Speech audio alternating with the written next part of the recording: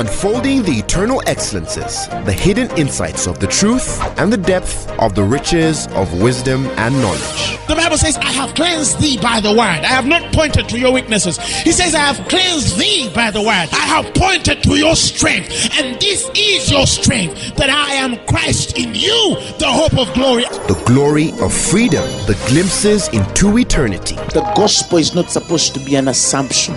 It's not supposed to be just a mere presupposition. Truth is older than language, but the word of God is way deeper than any human language. And now, Apostle Grace with the Word. Today, uh, I'm going to start a sermon teaching, and this begins with a conversation that is so common in the body of Christ. I have heard people who say, Why don't we, okay, they say, why don't we see miracles? Why don't we see the power of God demonstrated like we read in the early church, like we read in the days of Elijah, like we read in the days of Elisha, like we read you know, in the times of Jesus when he walked the surface of his earth, like we read in the days of Peter, like we read in the days of Paul, like we read in the days of the disciples. You know, they had, you know, great testimonies. They did mighty exploits. Howbeit that in this dispensation or this time period in history, we're not seeing that as much. We're not seeing so much of that demonstration. We're not seeing so much of that power. We're not seeing so much of that expression of God's manifested presence as we used to see in the past, okay? And they're right to say so because there are people who have not seen it. And there are people who have lived their life of faith until death and they have never seen it. Okay. One time we were in a healing meeting uh, in a crusade. I believe it was a Gulu crusade where, you know, people were born, you know, mentally disturbed and stuff. People who were, you know, even taken to rehab and they failed to restore them. And then two, three of them come through and since childhood they were mad, okay? And they see these people come to sanity, they see blind eyes and deaf ears. And this person says, you know what, I have been a Christian since I was little. You know, I'm in my late 30s, but I had never seen a miracle with my bare eye, okay? And that's sadly scarcity of the real stuff. All right. And I'm not saying that God is not working across, no. But I'm saying that there are people who are in the body of Christ and have been born again Christians since they were little, and they've never seen a tangible miracle. They've never seen a tangible demonstration of the power of God with their very eyes. And of some probably have even given in their hearts to explore and prove these things, and some fell under the hand of cornadists, okay? Some fell under the hand of deceptive people, crafty men who probably fake miracles or you know acting out parts yeah that's happened. We've heard about it. We've perhaps seen it okay? And some because of that experience they dispel. They say you know i think this is not for us. Some in fact have even become so extreme as to say you know miracles are not for today. They were for that time but not now. And then you ask them can you show me a biblical reference to tell me or tell us that miracles are not for today. No, they don't have one, but they got to a point of frustration because they tried to prove a God that they could not prove or could not see being proved before the people that they tried to work with. And because of that, many of them disprove the whole idea of miracles. Many of them disprove the whole idea of signs and wonders. Okay? Because they do, that doesn't change the fact that God still works today is the same today, yesterday, and forever. And of course, in the same you know breath, we have a group of people who, because they have continuously tried to prove things touching the healing power of God and miraculous, and they failed to see it in their own personal lives. Okay, it's one thing to prove it on another, it's also one when you don't see a healing in your personal life, you don't see a deliverance in your personal life, you tend to probably hear other people getting healed and delivered. How come I'm not getting healed and delivered? You know, and then you start to say, I don't think miracles really exist. And I'm not just talking about the miracle of healing, but of breakthrough and any other aspect of the miraculous, any other aspect of sign and wonder. And uh, some get so depressed about it, so frustrated about about it that they choose to do every carnal thing, okay, to stay afloat, to stay alive, okay, to succeed and be well, all right, and ascribe that to the working of God because it easily can be explained in the realm of reason, okay, and many of them will never leave past that level, past that place spiritually. For example, if they say, oh, you've been diagnosed with this, they know, okay, the only way this can be healed, say if you've been diagnosed with cancer, say, okay, the only way cancer can be healed is chemotherapy. right? And then they try chemotherapy. And if chemotherapy does not work, they cannot believe God for divine healing. So what happens? They say, you know, I think I've accepted it. I'm supposed to be dying because chemotherapy has not worked. And so, you know, they succumb. They write their will. They say bye to their friends, make peace, reconcile with those that they had fallen out with. And then they're buried okay because they cannot believe anything beyond science they cannot believe anything beyond biology they cannot believe anything beyond human research and human ability and we've lost many. But this goes also in different aspects. Like i said i'm giving examples of health because that's a common one you know the three chord attack on many people. In fact all men in the world either are dealing with uh, sickness okay? If they're not dealing with sickness they're dealing with uh, poverty financial if you're not dealing with a financial issue, you're dealing with a relational issue. Right? So that's the three chord cast. Are three ways in which humanity is attacked. If you're not dealing with a health issue, you're dealing with a financial issue.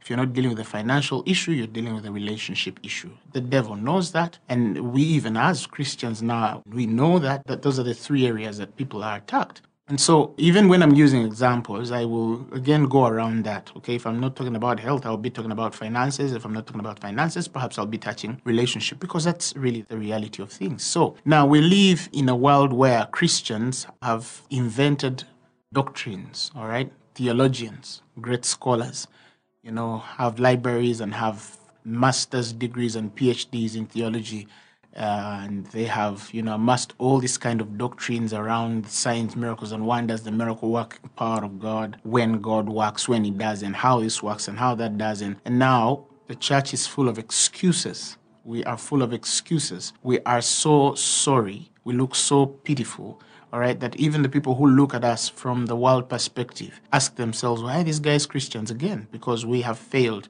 to match up to the challenges of our times, and yet science, biology, and all these other things, fields, uh, are giving solutions. All right, some have an end of breakthrough where people are delivered, but some don't even have answers. Okay, and I tell people that if you're suffering from a simple flu, normal simple flu, okay, you'll get vitamin C and you know drink well, sleep well, and that flu will go. All right, it's different from if you have been say diagnosed with leukemia in its highest stages and they tell you no this kind of disease nobody can fix okay? And we are seeing christians that are dying every day.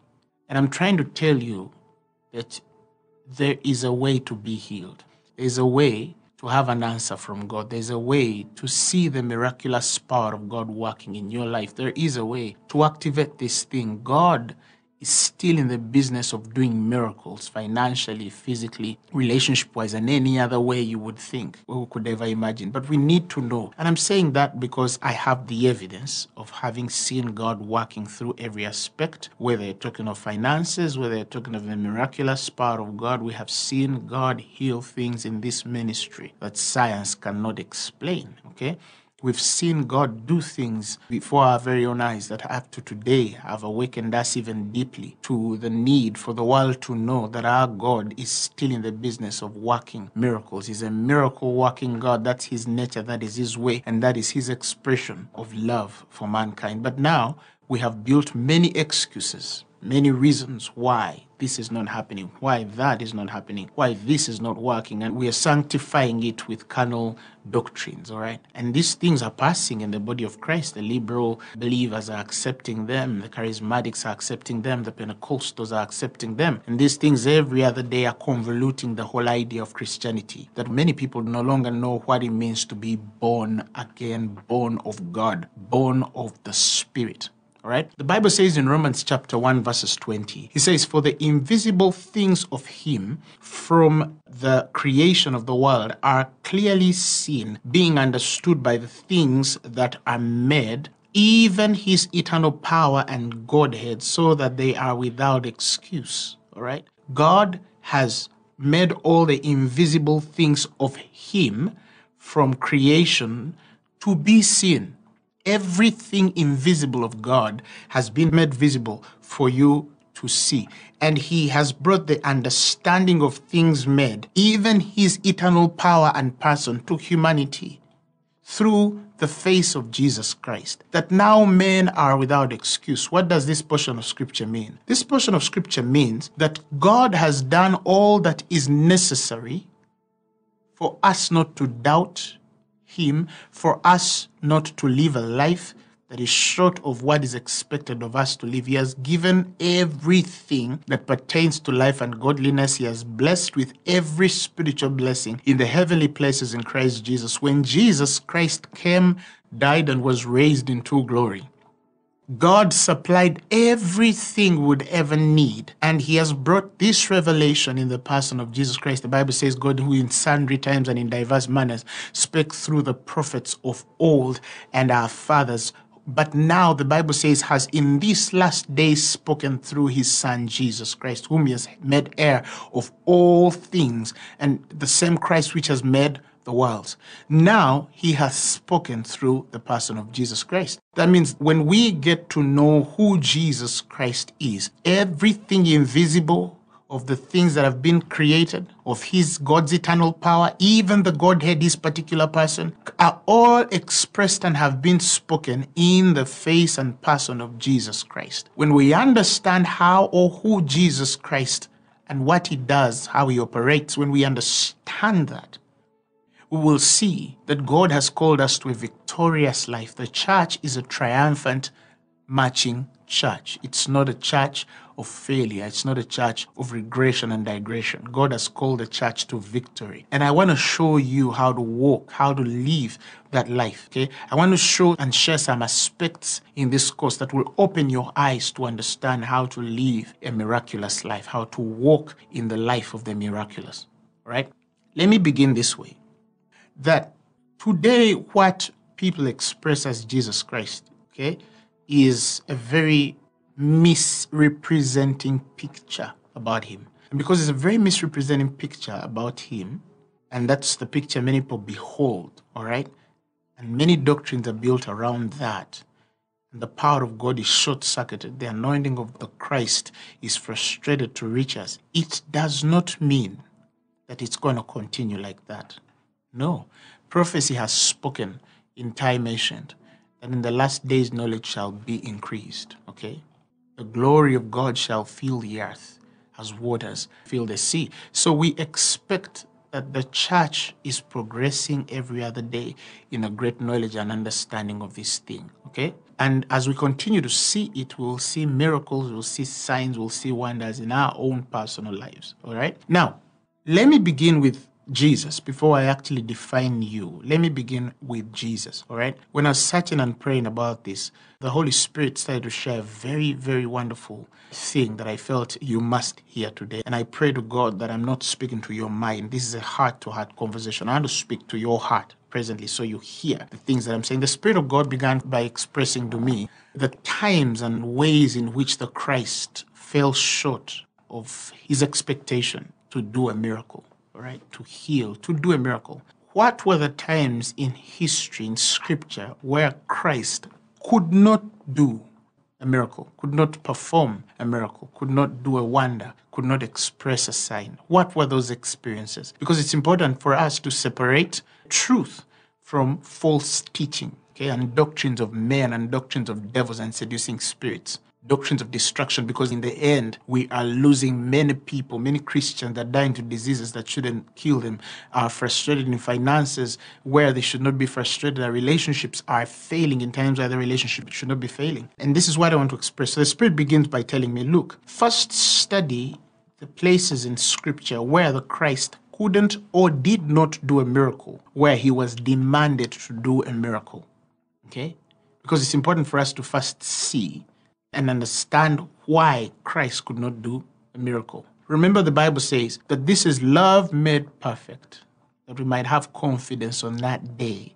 For as He is, so are we in this world. The elevation of a New Testament believer has thrown you in a dimension where God is qualifying you to the measure of the Christ. That's the reason why you have the fivefold ministry the pastors, the prophets, the evangelists, the teachers, that they might perfect the saints for the work of ministry to the edification of the body of Christ until we all come to the unity of the faith and of the knowledge of the Son of God and to a perfect man and to the measure of the stature of the fullness of Christ. That's why he expects the church to be so. As long as that is not achieved, the fivefold ministry will stay existent. But I see that God intends that we'll get to that end. We'll have the full measure of the stature of our Lord and Savior Jesus Christ. But this is in the realm of knowledge. It's not so much in what God wants to do in your life through the person of Jesus Christ. It's what actually God has done, but you are not aware of. The teacher, the pastor, for how shall they know except they be a preacher, the pastor, the prophet, all this whole five or fourfold ministry, all of that has the end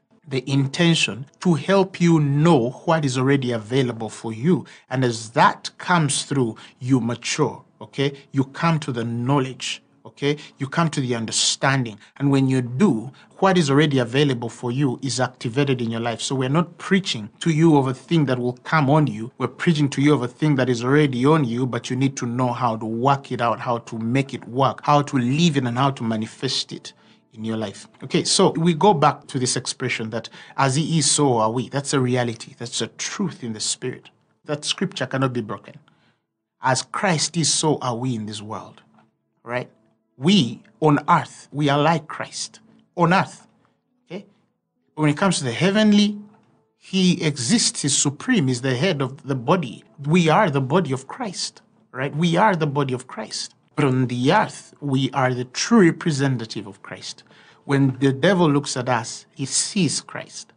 Right? He doesn't see us separate from Christ because we are joined with him spiritually. Right? Now, let's begin with what I was trying to say. So God says, look, I want to alleviate of all excuse from anybody who will say, you know, I have an excuse of why I don't see healing. I have an excuse of why I don't see financial breakthrough. I have an excuse of why I don't see this. So he says, let's deal with the excuses. Oh, somebody will say, but Jesus also didn't do certain miracles. He could not do certain miracles. So who are you not to do? So yes, let's deal with these areas in which the Christ never did or could not do miracles. So we understand them. And when we understand them, we say, okay, this could be a hindrance, that could be a hindrance. But besides that, then there is no reason why we would have an excuse. We are supposed to be without excuse, all right? But that does not take away the reality of certain principles that are underlying in the way God operates. And Christ, through that, demonstrated these things to us, okay? Now, let's begin with the first experience in Scripture, and that will be in Mark chapter 6. When we begin from verse 1, Jesus goes into his own country. When he goes to his own country, his own disciples go with him. And when the Sabbath day was come, the Bible says he began to teach in the synagogue, and many hearing him were astonished, saying, From whence has this man these things? All right. And what wisdom is this which is given unto him? People were astounded, they were astonished, they were amazed because he's speaking amazing stuff. All right. And the Bible says that even such mighty works are wrought by his hands. Okay, the testimonies that are being heard as this man is speaking. All right. And I believe they had heard about him as well. And now he's speaking, is before their eyes, he's speaking. Right. And the Bible says in the verse 3, okay, he says, Is this not the carpenter, the son of Mary, the brother of James and Jose, and of Judah and Simon? And are not his sisters here with us. And the Bible says they were offended at Christ. You might ask yourself, why offense came? People are funny, but they were offended. They were offended. And the verse 4 says, And Jesus said unto them, A prophet is not without honor, but in his own country, among his own kin, and in his own house. His country, kin, and house. I want you to note that country, kin, and house. His nation, all right, his relatives, and in his own household, all right? And the Bible says, and there he could do no mighty work, save that he laid hands upon a few sick folk, all right, and healed them. In fact, there's a version I read once that sort of says he healed a few simple illnesses, all right, a few minor illnesses, okay? And the Bible says, and he marveled because of their unbelief, and he went about the villages teaching. Jesus was marveled at their unbelief. Okay? And in this instance, we see unbelief because of familiarity, right? Because of familiarity. They were familiar, right? Now, the familiar spirit that sat on them created offense in their hearts. What was the offense? That the guy doing it is a carpenter. He's a son of Joseph. We know his mother. These are normal people, right? We know his brothers, James and Joseph. We know the sisters. They're all here. How can this guy speak all this kind of wisdom? As strange as that might sound, you might ask, what's the problem? And I'll explain the problem.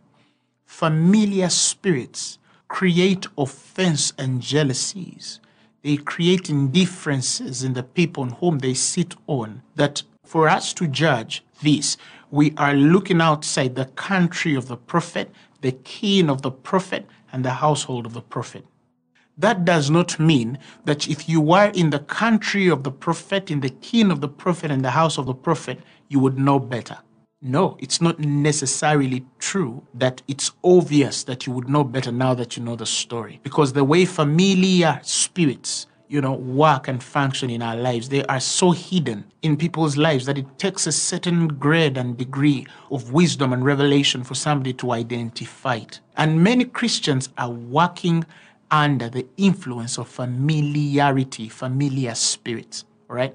Why? Because they connect to the things that appeal to our reason. They connect to the things that appeal to our acquaintances. They connect to the things that appeal to our rightness. All right. They connect to the things that appeal to what's obvious to us. They connect to the things that appeal to the things that justify us above others. All right. What was their problem? What was their problem? that this fellow being a carpenter, the family comes from the people that he relates with. It is not expected that this wisdom, this glory, this anointing, these works are coming through him. And because of that, the Bible says these familiar spirits came upon these people to give unbelief. Unbelief. right? The end of those familiar spirits, the intention of those familiar spirits was to create unbelief in the hearts of the people that were surrounding this man. And in his own country, in his own people, kindred, and his own house, he was without honor. He could not do mighty works, great signs, miracles. Jesus was frustrated. Jesus was frustrated, right? So the underlying problem here was their unbelief. And the mother of this unbelief was the spirit of familiarity. Okay? Familiarity. Do you know how many men of God have mantles in their own household? but they cannot recognize those mantles in their own household, yet they can easily take note of an anointing outside their own household. Do you know how many people have anointings in their own kin, have anointings in their own country, but it's so hard for them to identify that in their own, but it is easy for them to see something without, because that is the operation of a familiar spirit. It's the operation of a familiar spirit. All right? I read of a general somewhere once in uh, Sweden, Lewi Pethrus. I read about him, a wonderful minister of the gospel, one of the guys that led great movements uh, in Europe. And, you know, stories said of him that he struggled to identify the giftings with his own biological children.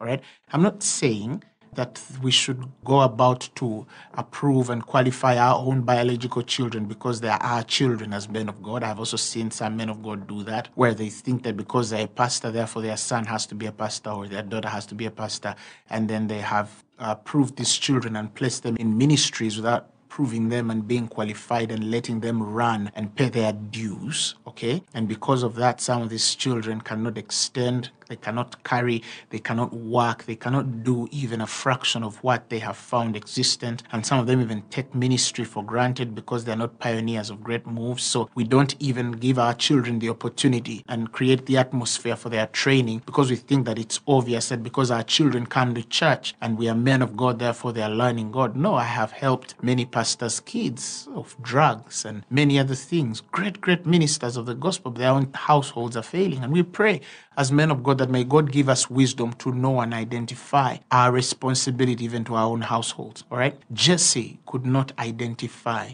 that David was the anointed one. That even when the prophet Samuel comes to pour oil on the boys, Samuel is trying to guess, all right? And Jesse, in his head, he has an idea of who he thinks, but in all that he thinks, David is not among them, that they have to remind them, oh, oh, isn't there another boy who's not here? Oh, okay, I know one, but it was never in the head of Jesse that this was the boy with the oil, all right?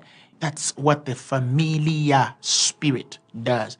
That means it was possible for David to be used of God mightily and do miracles for Israel and not bless his own father because his father carried a familiar spirit. And in that familiarity was disbelief. We have seen it, all right?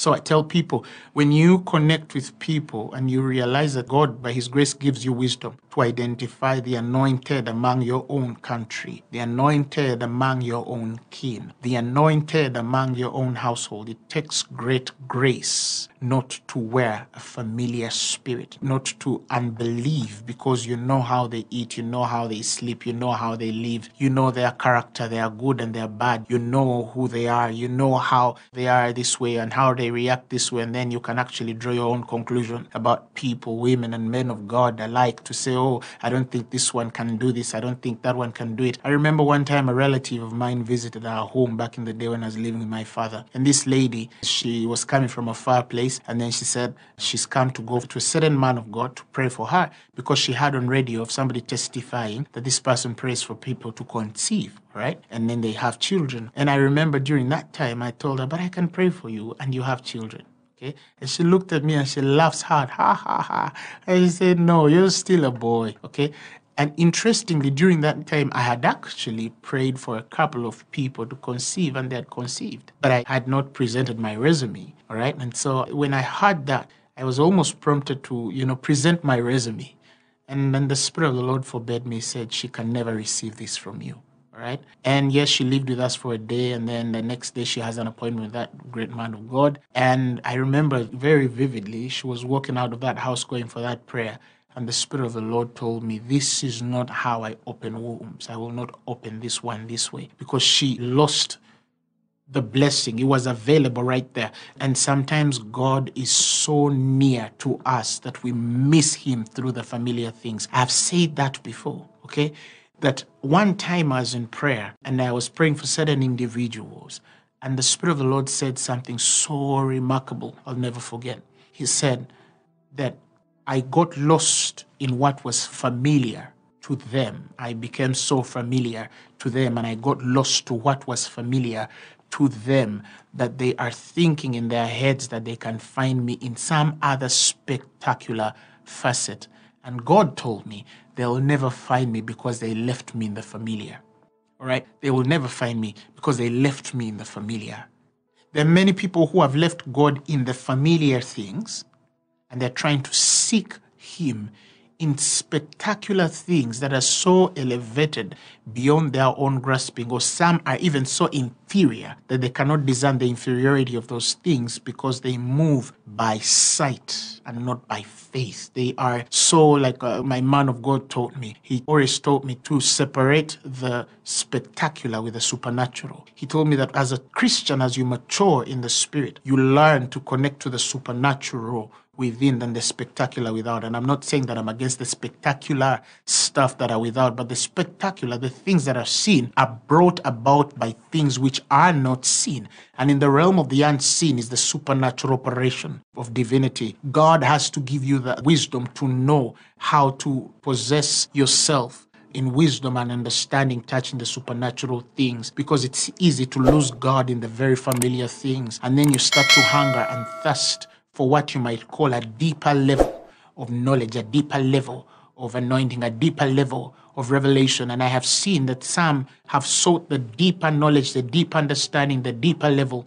And over the years, they started to slip off the path. They started falling off the faith. You know, the things they could do back in the day spiritually, they cannot do. Their effect starts to die out. Their brooks start drying. You know, their influence, you know, starts to decimate. And before you know that, you look at this individual after five, six, ten years, and they look fallen, they look beaten, they look oppressed, they look poor.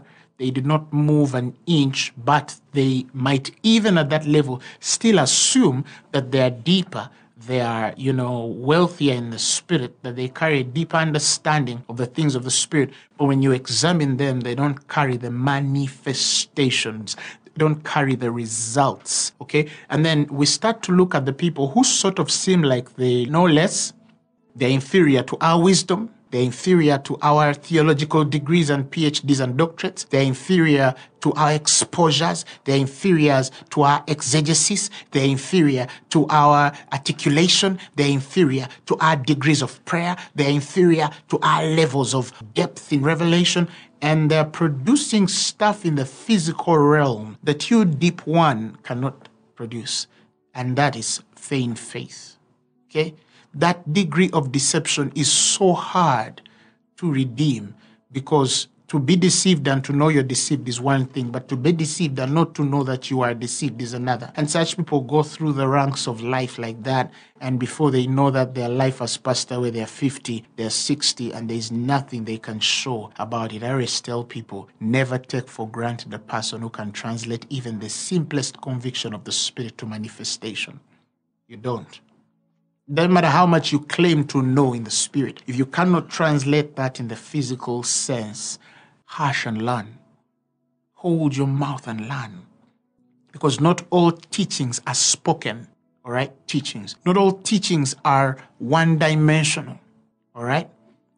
That's why the disciples of Jesus Christ find a man casting out devils and they forbid him. It's a familiar spirit on them. If we find a man casting out devils, we forbid him because he followeth not us. Mark said he followeth not us. He didn't follow us. So where could he have learned this? How could he have had this? Of course, it's in the disciples to assume that they should be knowing better. They should be more anointed. They should be more exposed to the things of the Spirit. All right. And yet they have experiences where they themselves could try to cast out devils and they could not, but they find a guy who is doing it. He's not in their camp. He's not in their ranks. He's not familiar. He's, he didn't serve with them. And so they're thinking, huh, oh, Jesus tells them, you know what?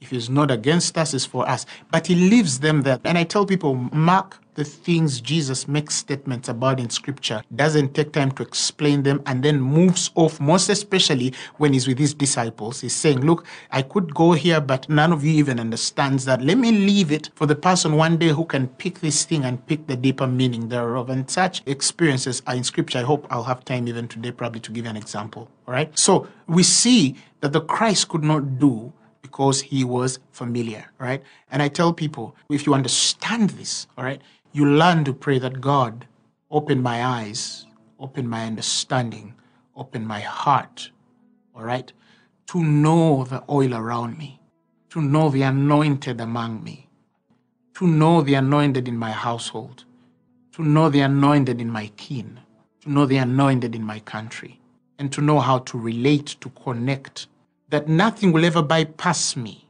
if it is on somebody and you know that I need it. Because some people, it's not that they don't have miracles or cannot access miracles. It's just that the miraculous, the entities, the sources God wants to use for them are so near them, so acquainted to them, laugh with them, speak with them, play with them. They are so near that they get so blinded to the reality of God's presence and love and intention for having deliberated that these people that God has anointed would be so near them. I know women if they're the ones who had mothered Jesus, they would not be born again. There are women I know in my life now that if they are the ones who had mothered Jesus Christ, they would not be born again by reason of the fact that they'll still see themselves forever as Jesus' mother. Okay? But when you read the scriptures, Mary humbled herself at the authority of the life of Christ. She referred to Christ as my Lord. This is the mother of Jesus Christ. But she worshipped him. She knew that this was no average person. You understand? That's what familiarity does. That's what familiarity does.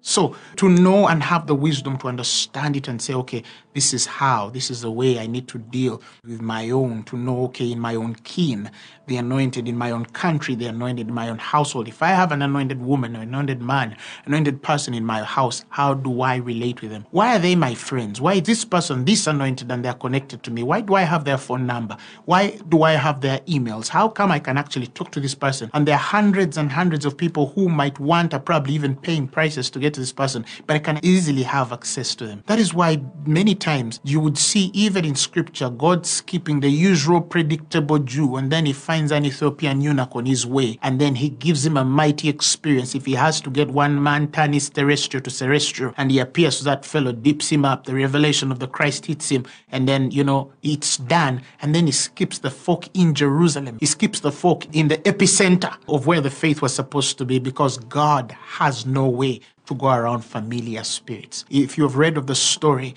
of the 1900 revivals in Topeka, Kansas City by Charles Parham, during that time there were rules in the United States of America that could not allow blacks to congregate and worship with the whites, all right? And you know, in all sense, I'm not saying that the church was racist, okay? But the system of government then was. And what do we see? The preachers of that time are forced okay, to obey the rules of the government. We see Charles Parham with white boys in a room praying for revival in America, and indeed the fires start catching, and then we see this black man who used to sit on the stairs outside the meetings of Charles Parham because he was not allowed to come in, William Seymour. And what happens in history? The story is told that God went over the heads of these boys and went outside and anointed this black fellow who used to receive the message on those cold stairs, even during winter, because proximity is not access. What happened with this? Because of the racial divide, familiarity had been created and need I not to add that unfortunately, part of the racism that we've read in human history has also been sort of um, attached to the church because some people used scripture to even further segregate fellow human beings. And may God help us on that. So we see that familiarity caused unbelief and people could not receive God's message. The second time we see that happen, it's in Mark chapter 8, verses 10. A story is told, the Bible says uh, Jesus has already done uh, great things. He has fed a couple of thousands of people in Decapolis. And then we see, the Bible says he goes straight away with his disciples. And then he comes into the parts of Dalmanutha. And the Bible says in the 11th verse, the Pharisees came forth and began to question him. Remember, he has just fed thousands, all right? Later on, he comes in Dalmanutha. The Pharisees come to him, the Sadducees, and they began to question him, with him, seeking of a sign from heaven, tempting him. Okay? And he sighed deeply in his spirit and said, Why doth this generation seek after a sign? Okay? Verily I say unto you, there shall be no sign given unto this generation. And the Bible says, And he left them, entering into the ship, again departed to the other side. He just left them and went away. Jesus did not do a miracle to prove his deity, to prove that he's a man of God, to prove that he is a son of God. There, he refused to do the sign. All right? And he said, You shall receive no sign. Okay? Now, let me express and explain that very clearly. It's not the first time we see the Christ refuse to do a miracle to prove himself. Okay? If you remember the testations in the wilderness, the scripture tells us Satan comes to him and says, If you be a son of God, command this stone that it be turned into bread. Jesus did not turn that stone into bread, but on the rather he counterattacks Satan and tells him, No, it is written that man shall not live by bread alone, but by every word that proceedeth out of the mouth of God. You see, Jesus refused to do a miracle to prove himself as a son of God. Okay. We also see an instance here where the Pharisees come. He has just fed thousands in the Decapolis, and in, in Dalmanutha, they're saying, "Look, give us a sign to show that you're from heaven." All right. And what did Jesus do? He said, You shall receive no sign. And then he moves away. Because it's not in the nature of the Christ to do a miracle to prove that he is Christ. Miracles are not done to prove that he is Christ. Miracles follow the proof of the Christ. The proof of the Christ is not in the doing of miracles, all right? And that is why I want to extend that also to men of God who have exercised themselves in tendencies of doing miracles to prove that they are men of God. Father, for once and all, I've seen some men of God do that. Prove to these people that I'm a prophet, that I'm an apostle, that I'm a man of God, that I'm a pastor, and then a miracle happens. Oh my God, this is proof that he's a man of God. No, it's never and has never been the proof that you are a man of God because you've done a miracle, because you've prophesied something and has come to pass. Psychics do that, fortune tellers do that. That is not what approves you as a man of God. In fact, if you want to understand this, See Jesus' emphasis. He says, Man shall not live by bread alone, but by every word that proceedeth out of the mouth of God. That's Luke chapter 4. But let's now come back to this instance and give it. One time we see a similar issue where the Christ is prompted, okay, in the Gospels, and they, they're seeking a sign. And he says, No, you shall not receive any sign except the sign of Jonah, right? And he's saying that the sign that proves my person as a son of God goes so deep in the prophetic utterance of the words of God. The word, the words, the rhema, the logos of God defines the man of God and defines the Christ. Not the miracles, not the signs, not the wonders. That is why when he gets into the unbelievers later in the Gospels, you see him telling them, Look, if you will not believe me for the words that I speak, at least believe me for the signs, miracles, and wonders. All right? So you see, the miracles are secondary. Most importantly, he emphasizes the believing him with the word. Okay? Believe the word. If you can't believe the word, okay, believe the signs, miracles, and wonders. All right? In other words, even without signs, miracles, and wonders, God has not sent primarily, okay, the foundation of the faith, the Christian faith, on the foundation of signs, miracles, and wonders. Even though they are important and they follow them that believe, they are secondary and we must emphasize them because they are needed for some people to believe, or that we lose people because we don't have the miraculous operation of the Spirit. But primarily to God, the word is important. We prove men and women of God by what comes out of their spirits concerning the revelation of the person of Jesus Christ. But how many people actually understand this? Many people look at a man of God. When a lame man walks, oh my God, this is a man of God. When a blind eye opens, oh my God, this is a man of God. When miracle signs and wonders, oh my God, this is a man of God. When a prophecy comes to pass, oh my God, this is a man of God. That's not how you tell a man of God. You tell a man of God by his understanding in the mystery of Christ, by his knowledge in the dimensions of Christ, by his or her revelation in the ways of the Spirit of God in the face of Jesus Christ. Because why wouldn't Jesus do to prove himself? Because he was not for his agenda. He came to reveal the Father. So there was no point in him giving a sign to justify him. In fact, at times he did miracles and he tells the men, tell nobody about it. Because it was not about him being voiced. Yes, consequently, his name was voiced. But his intention was not the voicing of his name. His intention was to bring many sons to glory. Right? The bigger picture. That all men be saved and that they might come to the knowledge of the truth. He was pointing to the Father. All right? He was pointing to the will and way of the Father. So we see Jesus could not do a miracle even in that instance because they were provoking him to prove himself as a man of God. And I tell men of God, ministers of God, if somebody questions your place as a man or a woman of God when they have not had you, give them the opportunity to hear you if they care to hear. If they don't care to hear, don't waste your time. But if they care to hear and still doubt you and now want to push you to a place of demonstrating power and doing a miracle to prove it, then you're wasting your time. If they cannot understand your doctrine, they cannot believe the miraculous on you. Or if they believe the miraculous on you without understanding your doctrine, then I want you to know that much as that they are appealed to your circles to believe in what you're doing, they are not connected to God because that's not how God draws men. All right? That's another time the Christ could not do a sign, could not do a miracle. And the third time we see towards uh, Christ's end at the cross. Mark chapter 15, the 25th verse, the Bible says it was the third hour they crucified him, and the superscription of his accusation was written over the king of the Jews. And with him they crucified two thieves, the one on the right and the other on the left. And the scripture was fulfilled, which saith, And he was numbered with the transgressors. And the Bible says, They that passed by railed on him, wagging their heads and saying, Ah, thou that distressed the temple and buildest it in three days, serve thyself, right? And come down from the cross. Likewise, also, the chief priests mocking him said among themselves with the scribes, He saved others, himself he cannot save. All right? He cannot save himself. Let Christ, the King of Israel, descend now from the cross that we may see and believe, and they that were crucified with him reviled him. Now imagine that kind of experience. The Son of God is purchasing eternal salvation. He's wounded for their transgressions. is bruised for their iniquities. He has laid down his life as a sacrifice, the ultimate expression of God's love in its most purest form. He's on the cross, and these Pharisees are saying, okay, you have served others, serve yourself also. If you want us to believe now, whatever you've been telling us, come off that cross now. Come off that cross. We will believe you.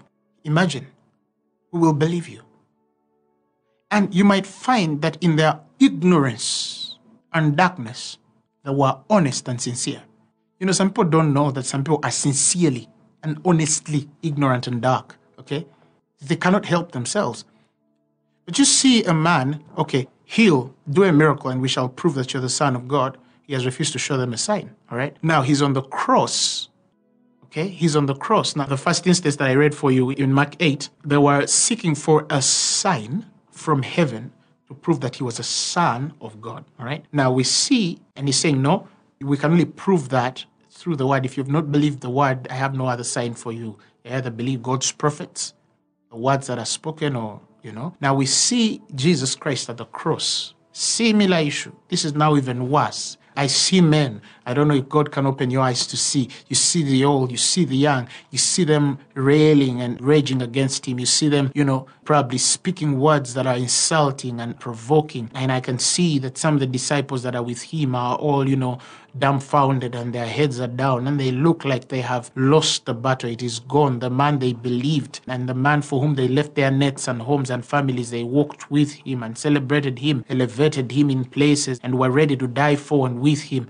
And now he's at the most weakest time in history and they're looking at him up on the cross. And I see men scoffing and reviling, men that are accusing and attacking. Okay, save yourself. If you were to destroy the temple and build it in three days, which is a deep miracle, do it right now. Let us see you do that.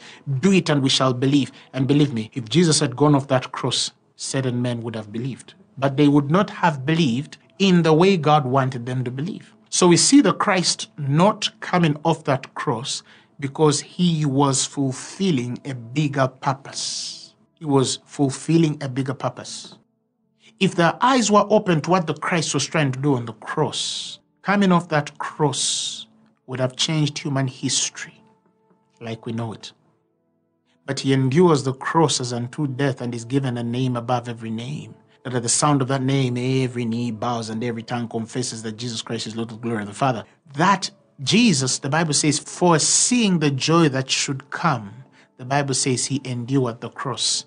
Okay? We can only succumb to not doing certain demonstrations and expressions of miracles, signs, and wonders because we have a far reaching purpose that is bigger than the present contention, that is bigger than the present challengers, that is bigger than the present men that are railing and speaking against and saying, Prove yourself, prove yourself. So I tell men as you mature in God, when you see that certain things serve inferior purposes against the higher calling with which you have in Christ, the bigger calling in God, you'd rather not do that miracle. It's okay to be seen in that moment of weakness as one which is unable, and then write something in human history that will leave a mark indelibly fixed that forever. I mean, who is the most popular man in human history? Jesus Christ. Do we remember the name of the Pharisees that were railing at him on that cross? No. Do we know the families from which they came from? No. Do we know their addresses and what positions they held in Israel during that time? No. But now the Bible says we see Jesus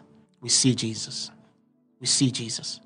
And so he says, if there is things that touch divine purpose, and they are going to work out a weightier glory, not lesser, a weightier glory, a greater story, a bigger testimony, then I would rather forego the moment of the challenge and do the bigger one to the glory of God. So those are the three major times we see the Christ shy away or hold back from demonstrating power okay, from demonstrating power. Those are the three major ones.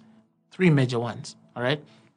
On the cross, because he was serving a bigger purpose, all right? In Dalmanutha, because he's telling them, if you cannot understand me by the words that I speak as a man of God, then no sign can express and prove to you that I'm really a man of God, that I'm really a minister of the Spirit, that I'm son of God. And I pray somebody understands, especially the second point, especially the second point. Some of us need to understand this Mark 8 very keenly because as you grow in the things of the Spirit and the ways of God, you will realize that many ministers err here. They don't know the things that prove them and are approved of them. He says, study the word to show yourself approved a worker. Study. What approves us is our revelation of Christ. All right. So the three, like I said, serving a bigger purpose on the cross, they're refusing to show a sign because they should believe him by the word, and familiarity. Those are the three times we see the Christ refusing to do miracles. And in there, there are teachings for the church, okay, for us to understand, like Romans 1:20, that now we are without excuse because these expressions have been fully accounted to us by God. He's saying this Christ went through familiarity, all right, know how not to be familiar or how to house familiar spirits in you. Uh, Christ insisted more on the message to precede the demonstration of power. Always raise your heart in that. That is why when his own could not believe him, the Bible says he went in the cities teaching because he knew the problem was teaching. All right. And when you are serving a bigger purpose than the inferior demand for you to perform, okay, you choose the higher calling. That we have learned. Okay. And now that we know that, okay, we're without excuse. That you should not fall short of doing the miraculous, working in the miraculous because of familiar spirits and all these other things that I've spoken. All right. And if you're the kind who probably has been struggling in that area, tonight God has helped you. You're free. All right. You're free. You don't have excuse not to live and walk in the miraculous. Father, we thank you for your word. For the entrance of your word brings light, it giveth understanding, and tonight a Lord has been said. And for the lovers of the word, I believe that this word has hit home. I feel that people are getting it, they're understanding it as you propel and elevate the church to the glory that you have called her to be in this world of darkness, to shine as a light and to change lives and bring many sons to glory. And this we will do by your grace in the mighty name of Jesus. Amen. We pray for the sick right now. Be healed in the name of Jesus. For them that are tormented by the devils, be delivered in the name of Jesus Christ. We pray for your finances, your health, your marriage, your career, your dreams, your aspirations, your ministry ministry. May God elevate and work through you and for you more than ever before. And I believe that miracles, signs, and wonders are happening this very moment, for He sent His word and healed our disease. All right. Thank you, Lord, because you sent a word in Jacob and it lit the whole of Israel. We thank you because your word is having effect in our lives, in our homes, in our businesses, and everything that touches us in the mighty name of Jesus. Amen. And if you're not born again, you've not received Jesus as your Lord and Savior, I want to give you a great opportunity, an invitation to this chariot. I want to give you an opportunity to receive Jesus Christ as your Lord and Savior. If you were there with me listening right now, I want you to pray these words. Say, Lord Jesus, today I have heard your word, I have believed it. And now, in the name, I receive you as my personal Lord and Savior. I'm born again in that name, the name of Jesus. The message you have just heard was brought to you by Phaneroo Ministries International. For more information, contact us on telephone number 041 466 4291 or email us at phanerookampala at gmail.com. You can also find us on the web at www.phaneroo.org. Or better still, feel free to join us every Thursday for our weekly fellowships at UMA Multipurpose Hall from 5 p.m. to 8 p.m. You can also catch the live stream at livestream.com slash Finero. Phaneroo, make manifest.